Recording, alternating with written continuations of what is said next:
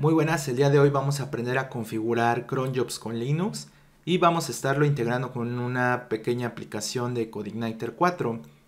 En este caso, en esta primera parte vamos a ver cómo configurar una ruta personalizada desde CLI con CodeIgniter que posteriormente la vamos a utilizar para automatizarla con un cronjob. Entonces, eh, vamos a iniciar.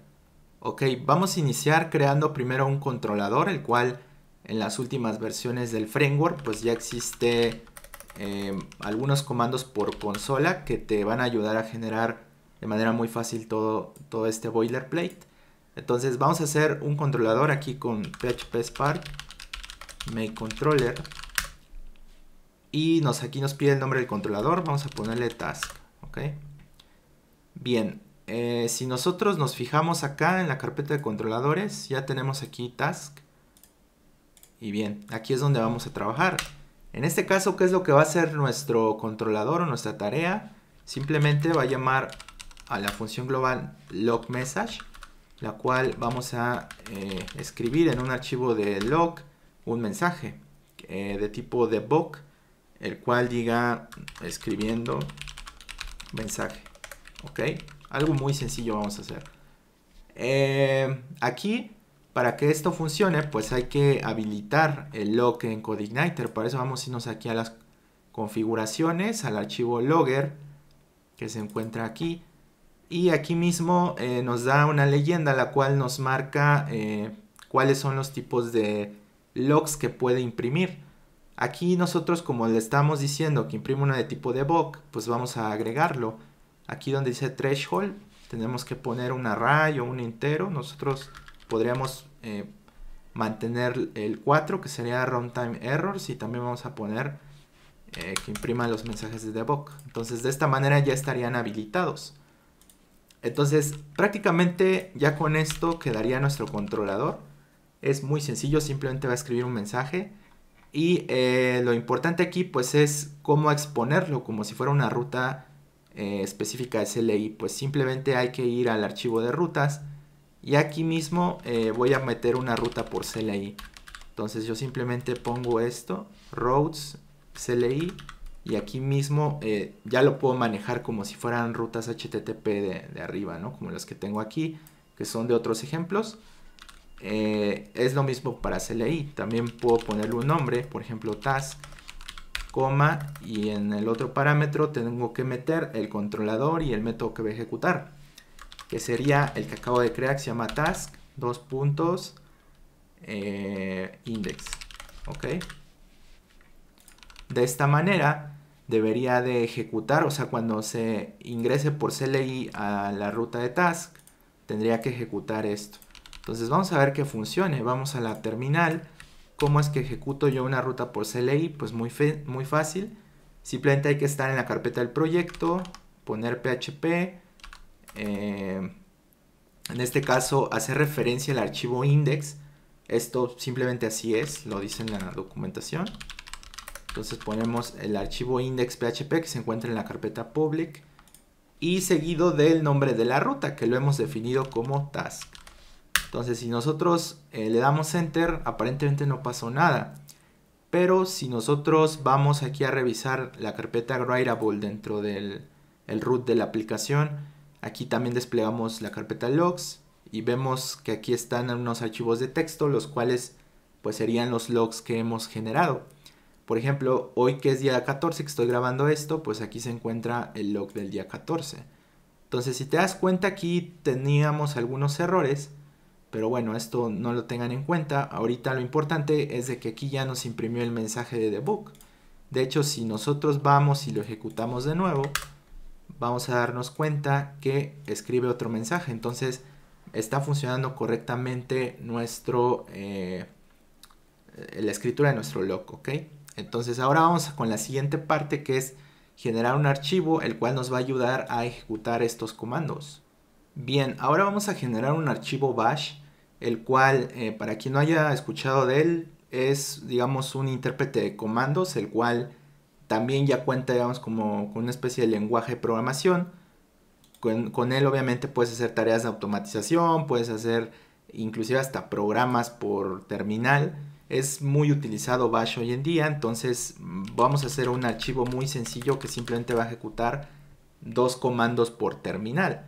¿Por qué hacemos esto y no directamente metemos, digamos, el comando que utilizamos, que sería este, en nuestro cron job? Pues vamos a hacer, es lo, bueno, digamos, es una mejor práctica el tener todo consolidado tal vez en un archivo, el cual igual aquí podamos meter más tareas o simplemente no ensuciar el archivo de configuración de nuestros cron jobs. Por si necesitamos modificar algo, pues simplemente nos metemos aquí y aquí hacemos la corrección de los comandos, etcétera, ¿no? Eh, nosotros el objetivo de esto es aquí en bash expresar que ejecute este comando. Eh, para, primeramente para definir que esto se interprete como bash hay que poner gato, eh, signo de exclamación de cierre, diagonal bin, diagonal bash. ¿ok? Ya con esto le decimos que es un archivo bash. Ahora, de alguna manera nosotros tenemos que ejecutar esto. Eh, yo ahorita estoy trabajando en Windows y va a ser esto un poco más complejo ya que tengo que poner las rutas absolutas de algunas cosas. Por ejemplo, el pad de PHP, pues yo no lo conozco en el subsistema Linux. Esto porque no tengo, digamos, un LAMP server instalado ahí. Entonces, como yo tengo Laragon aquí en Windows, pues tengo que, digamos, llamar el PHP, que, no, que lo desconoce obviamente en Linux. Y también, pues, llamar eh, de forma absoluta en donde se encuentra el index PHP, que obviamente está dentro de nuestro proyecto, que de igual forma se encuentra en Windows. Entonces para eso eh, voy a utilizar aquí un poco de bash. Aquí ya podemos meter instrucciones de terminal Linux. Por ejemplo, vamos a ponerle cd mnt. ¿Por qué pongo esto? Porque es la carpeta en donde monta, digamos, todos los archivos de Windows en el subsistema de Linux. Entonces vamos a poner aquí c, vamos a poner laragon www ci4 diagonal, eh, de una vez aquí podemos saltarnos a public. Entonces este comando simplemente va a saltar de carpeta a public, ¿ok? Eh, recuerden que, que estamos poniendo instrucciones Linux porque obviamente aquí, ahí es donde se va a ejecutar el cron job, ¿ok? No en Windows. Entonces vamos a poner estos dos signos de ampersand que eh, lo que significan es que ejecute primero las instrucciones de la izquierda. Si es que todo salió bien, ejecuta las de la derecha. De lo contrario, pues ya no ejecuta las de la derecha, o sea, si, si falló algo aquí, ¿no? Entonces vamos a poner aquí la siguiente instrucción que ya sería ejecutar el comando de php task. Para eso, eh, como yo no, digamos en Linux desconozco el PHP, obviamente si tú estudias en Linux o en Mac, pues esto no pasaría porque trabajas nativamente en la terminal y, digamos los paths están disponibles. Como aquí no es el caso en Windows, pues hay que eh, identificar dónde está ese path. En este caso, eh, en el archivo local se te va a enseñar dónde está al menos en Laragon es así. Puede que tú tengas SAM u otro empaquetado, entonces sería la dirección distinta. Ahí ya sería labor tuya tener que buscarlo, pero bueno, voy a eh, ponerme en bin, php. Aquí está la carpeta de php 7.4 y aquí está el archivo que ejecuta el intérprete de PHP. Entonces, simplemente voy a copiar toda la dirección de arriba y la voy a pegar aquí. Entonces, ya nada más hay que adaptarla aquí a, pues a Linux como tal. Entonces, mnt C, diagonal Aragon. Y voy a cambiar estas diagonales, ¿ok? Bien, al final pongo diagonal php.exe. De esta manera, pues ya va a ejecutar el path de PHP.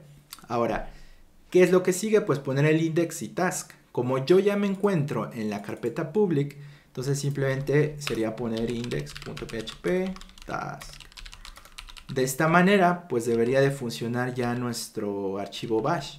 De hecho, para probarlo, abres tu, subsistema Linux, que yo ya aquí ya tengo una terminal en Linux, eh, y vamos a llamar ese archivo. Entonces voy a poner diagonal mnt eh, c laragon www ci4 que es la carpeta del proyecto y aquí mismo voy a llamar a scripts.sh si yo le doy enter y no aparece nada, quiere decir que pues no hubo ningún error. Entonces yo voy ahora a revisar si realmente se ejecutó este bash, que debería obviamente de escribir un mensaje en el log. Y de hecho aquí ahorita son las 12.29, entonces ya aparece aquí el mensaje. De hecho si yo lo vuelvo a ejecutar para hacer nuevamente una prueba, nos damos cuenta que también eh, ya ejecuta otra vez otro mensaje a las 12.30. Entonces esto ya se encuentra funcionando. En el siguiente video pues vamos a ver cómo automatizar este archivo para que se ejecute cada cierto tiempo ya con un cron job.